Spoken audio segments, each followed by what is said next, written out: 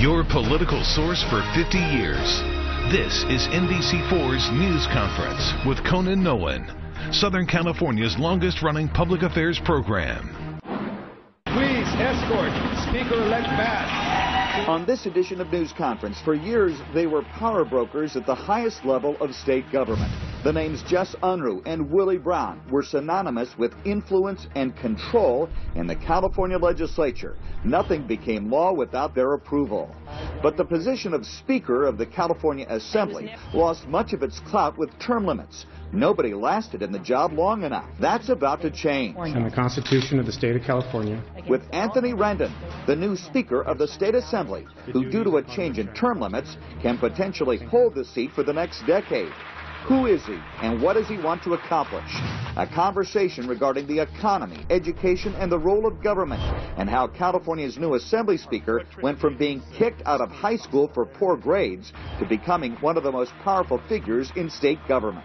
Good morning and welcome to News Conference. Anthony Rendon is the 70th Speaker in the history of the state of California. He represents the 63rd Assembly District, Democrat from Paramount, a high school dropout who ended up getting a PhD from the University of California, Riverside. We'll get to that later. Mr. Speaker, thank you very much. For thank you, Conan. So you've been on the job for a couple of months now. And we, before we get into policy, this is a job that has had tremendous turnover as a result of term limits. Most of the most recent Assembly speakers have been two years max. You will be in this job potentially for eight years, ten years? Sure, eight years. So we're talking, we're looking at Willie Brown style uh, political clout. Uh, and I assume that's something that is part of the geometry of the decision making and what you're looking forward to in this session. Well, it's certainly something that I think the legislature is looking forward to, or certainly something that the assembly is looking forward to. The uh, constant turnover of speakers is something that we we believe has had a, a detrimental impact on the legislature, and even just in terms of membership, having members only in Sacramento for six years I think, and most people believe, has led to a decrease led to a decrease in the level of specialized knowledge about various uh, about various policy areas. That certainly had an impact with respect to the speaker, as you said. Um, each speaker has tended to serve only about two years over the course of the. The quality of the legislation suffered. Uh, cer- certainly, the the level of expertise and the ability for uh, for legislators to sort of sink their teeth into public policy areas suffered. Certainly, the relationship between legislators and other parties as well. You could see staff got much more powerful during the short term limited era. You saw the third house, the lobbyists get a lot more powerful during that era as well. Let's talk about some of the policy. First of all, you just have a budget agreement. Uh, this was uh, not acrimonious. It was fairly simple for the most part. Uh, that's what happens when you have a budget surplus. We're going to go over a few of the items. Still, uh, there was a downturn in the anticipated revenue to the state of about 1.9 billion dollars. One billion dollars going ahead. You have about two billion less than what you thought. So tax revenue has decreased. What does that tell you? Tells me that there's certain uh, danger signs uh, with respect to the economy. I just met with some folks from the Long Beach Harbor, Long Beach Port. They were talking about the, uh, how there's fewer shipments coming in from China and and uh, and Asia over the course of the past, uh, during this year anyway. So there's certainly uh, certainly warning signs on the horizon.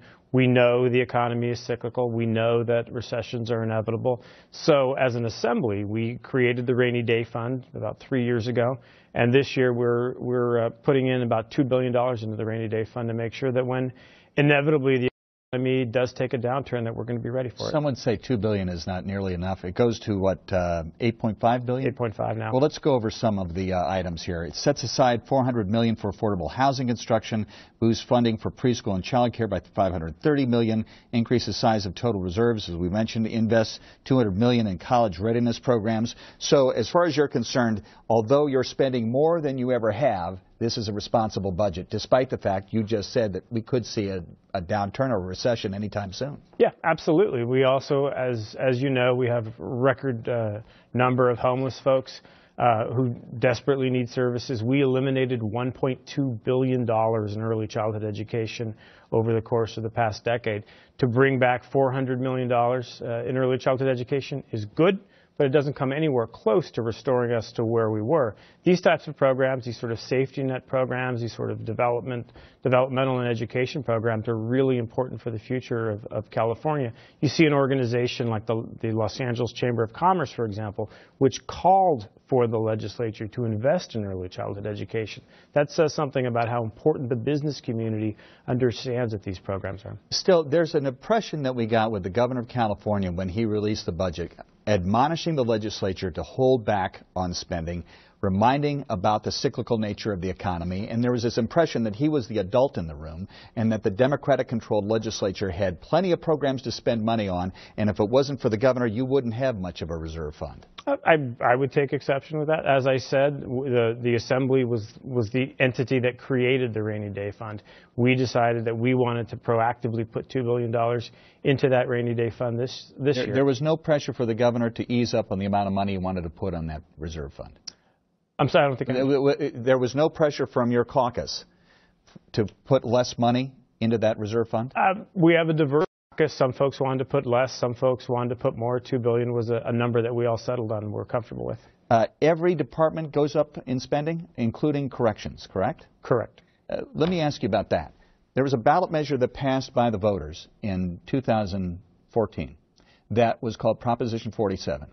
And on the ballot argument, and I can read part of the ballot argument for you, where it talked about how it would result in hundreds of millions of dollars into all sorts of programs for those who would be released from prison. Thousands would be released. Remember, for folks that don't know this, that drug crimes like methamphetamine, crack, uh, heroin, they are now misdemeanors and not felonies. You steal something less than $950, that's now a misdemeanor.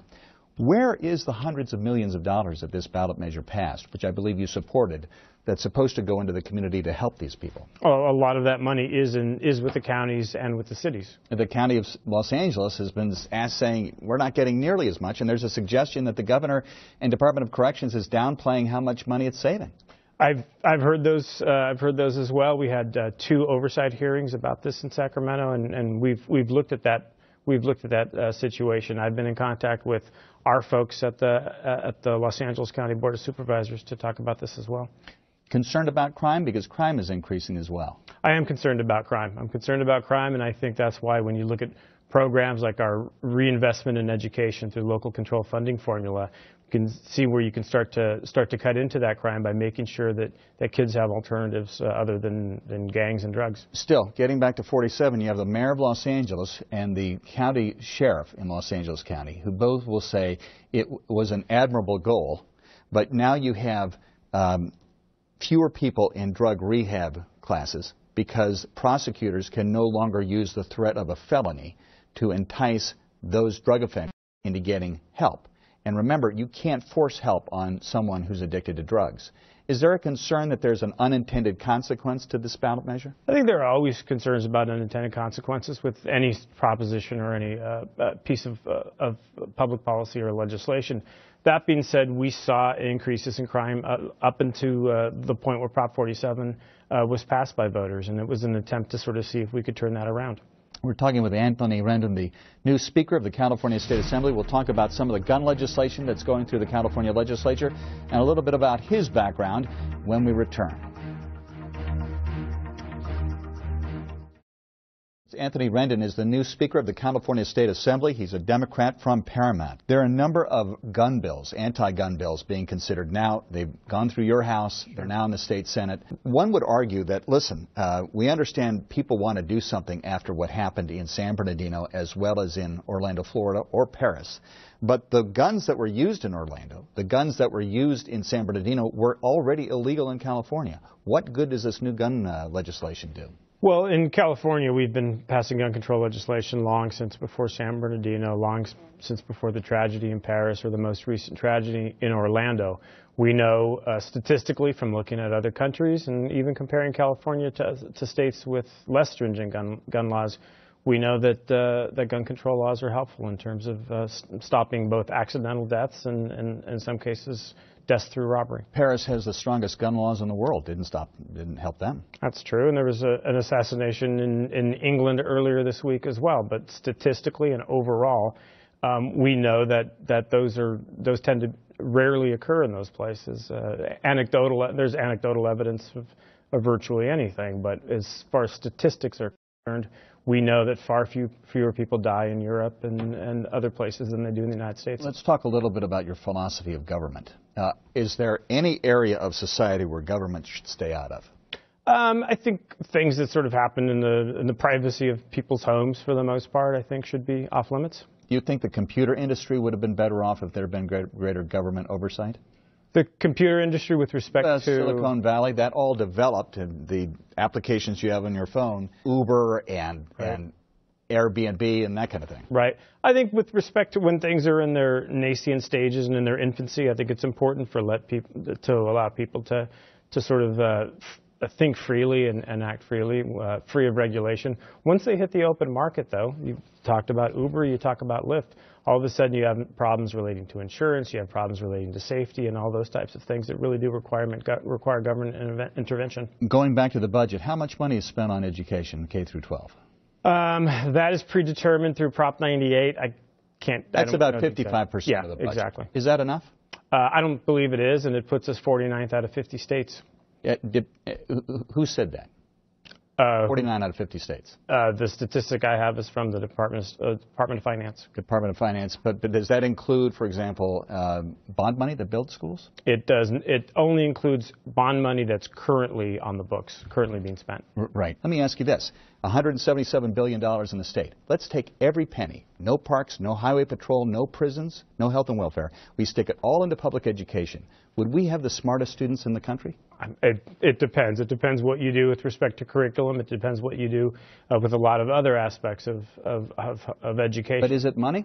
Uh, in some instances, it is. In some instances, we have a huge population of 38.5 million people. Mo I've seen estimates that our current budgetary figures are sort of geared toward having a population of about 18 to 19 million.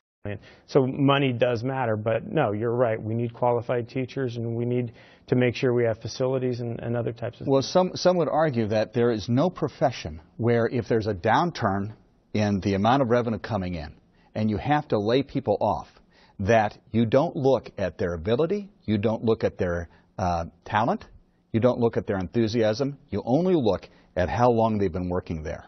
And that's tenure in the teacher in the uh, system in public education. You satisfied with that, or you like to see changes? To I, I, think I think I'd like to see changes where changes need to occur. That being said, I don't. You were talking about the quality of, of public education in California. I don't think we can fire ourselves into better education. I don't think we can uh, have layoffs to better education. What's important is what happens in the in the classroom. What's important is the development of, of strong teachers. We have a teacher shortage in California that is absolutely profound. It's, re- it's reaching emergency proportions that nobody is really talking about.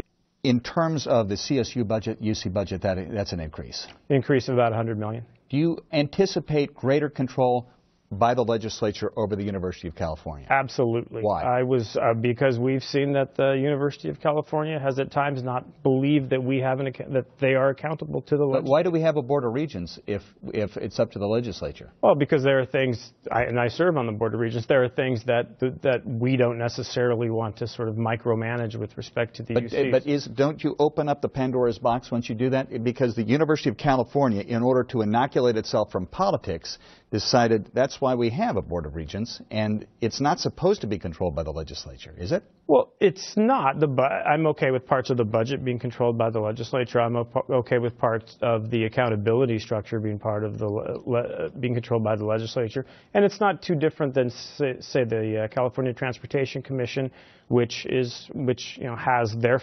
within within that realm of public policy. With respect to the UCs, we in the in the assembly have been very critical of the UCs with respect to their lack of accountability. We took on the UCs over their lack of accountability with respect to sexual violence a couple of years ago.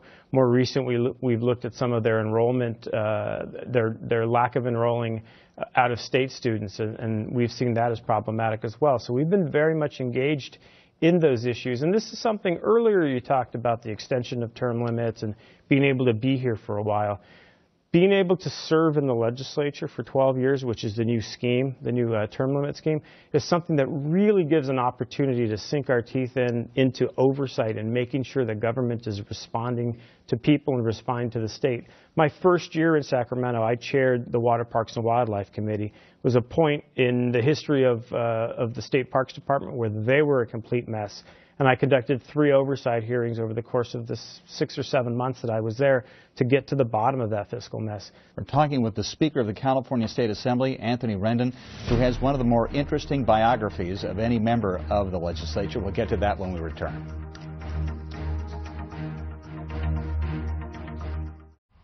Welcome back to News Conference. Anthony Rendon is the Speaker of the California State Assembly. You're from where? I was born in Los Angeles, raised mostly in Whittier. In high school was Whittier High? California High School in Whittier. And you dropped out? No, I uh, didn't drop out. I was academically disqualified at one point. what happened? I was a good student. I didn't study very hard. I didn't find anything that was all that intellectually stimulating for me. Uh, before we get into your resurrection uh, in, uh, educationally, your dad did what? My dad uh, worked uh, for a, a, mobile home company in Gardena. Your mom? My mom were, was a teacher's assistant at a Catholic school. How many uh, siblings? Three sisters. And so, um, but politics wasn't an early goal of yours. No, my parents are fair, pretty political in terms of voting and those types of things. Uh, there was a lot of discussion about politics around the dinner table, but they weren't happy when you got kicked out of high school. Uh, they weren't happy when. Right, I... and so you ended up taking a job somewhere. I did quite a bit of work in factories and warehouses in northern Orange County. So you know all about that. I know all about that. Uh, what was the turning point? I think the turning point was uh, I would I would take a, a, bus past a community college every single day, and tuition was five dollars a semester. And when the bus would stop in front of the community college, it would sort of jolt the bus, and it would wake me up, and I'd look out and I'd see the kids. They were fresh and ready to go for their days, and I was tired and exhausted, and I thought what they're doing looks better than what I'm doing. What did you do then? I mean, you entered uh, JC Community yep, College. Uh, Cerritos Community College. I took a couple classes, did okay, and then I took a class in philosophy. Uh, Plato's Republic was the first book I I read uh, cover to cover for, for school. The first book on politics. First book on politics uh, that uh, asked the question, "What is justice?" And I thought that's a pretty interesting question. And you went on to get a PhD. Got a PhD in political philosophy from UC uh, Riverside. And uh, I'm told your favorite place to hang out is the Last Bookstore downtown. I love the Last Bookstore on Spring Main, Street. I, yeah, yeah, exactly. in Spring, right? Yeah. Uh, and the uh, how does how does political philosophy, well, I guess it's a, I've answered my own question. It, it it's applicable to the job that you have now. It's applicable to the job I have now. I think what's important in the job I have now is to sort of stop and continually ask yourself that that original question that was so captivating to me. That question, what is justice? Is is this act just? Is this policy just? If you continually go back and focus on that question, I think you're doing your job effectively. And this is completely out of sequence because I want to get back to one thing. But why is the LA River a priority for you? LA River is a priority uh, for me because it, we have the potential to have what I, I regard as a 51 mile uh, linear park. I represent communities Maywood, Bell, Cudahy, South Gate that are park poor. They don't have enough open space. They don't have enough uh, places for people to, to spend time outdoors. And you look at that 51 miles, that potential to, to have to have park space along the river, to have a bike trail that's that's paved and, and, and that has drinking fountains. You look at that as an important uh, important uh, opportunity for, for people to exercise, but it can also be an important linking opportunity for the entire for the entire Southern California area. It's a it's a opportunity to link Long Beach with the southeast cities, with downtown, with with the San Fernando Valley. It's exceptionally exciting. That 51 mile linear park, potential linear park, is within half an hour of 10 million people. Uh, very quickly, uh, lightning round uh, ballot measure on, uh, legalizing marijuana, yes or no? Yes. Uh, the extending Proposition 30, the uh, tax hike, yes, yes, or no? Yes. do we depend too much on millionaires in this state for tax revenue? We likely do. Uh, what's the solution to that? Spreading it out a little more? Spreading it out, or, or looking at taxing uh, taxing services, which we don't do in the uh, state. Change Prop 13 at some point? I've, I've talked about that for quite some time. Is it going to happen? Uh, it's nothing on the books now. Uh, would you uh, alter the California Environmental Quality Act, which the chamber says would increase the productivity in the state if you just didn't let anybody stop a project? I think uh, I think CEQA is good. I think what's bad is the abuse of CEQA. So there's reform on the books, you think? Um, again, there's there aren't any uh, proposals out there. I'll look at it if something Uh, comes. finally, eight years from now, when you're saying goodbye to this job, what would you like to have accomplished? My district is a district where I represent nine cities. Five of those uh, five of those cities have former council members in prison. It's ground zero for, for government corruption. When I when I'm ready to, to leave, I want my replacement to get two, three, four times more votes than I got because it means that the people then believe in government and they believe that sending people to Sacramento is can can be beneficial for their communities. Anthony Rendon, the Speaker of the California State Assembly, thank you very much for joining us. Thank you. Appreciate it. We'll have some final comments after this. For the record, the State Assembly Speaker says his last name is Rendon, but others call him Anthony Rendon. He points out that either is fine, considering the fact it is a bilingual state and has been since the state constitution was written in 1850. That's our program for today. You can see these segments again, NBCLA.com. Search News Conference one word in the search category. I'm Conan Nolan. Thanks for watching. We'll see you next week.